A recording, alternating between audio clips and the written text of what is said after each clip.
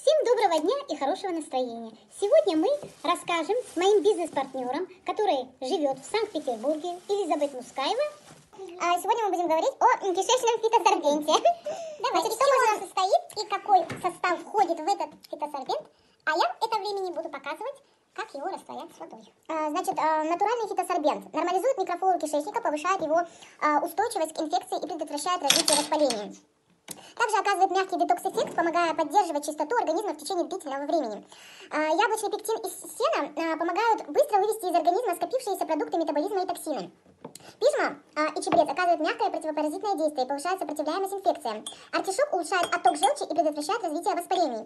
Значит, принимаем его 200 мл теплой воды 50-60 градусов, одна чайная ложка порошка сверху и тщательно все это просто перемешать. Выпиваем сразу, принимаем один раз в сутки перед сном. Все достаточно просто и легко.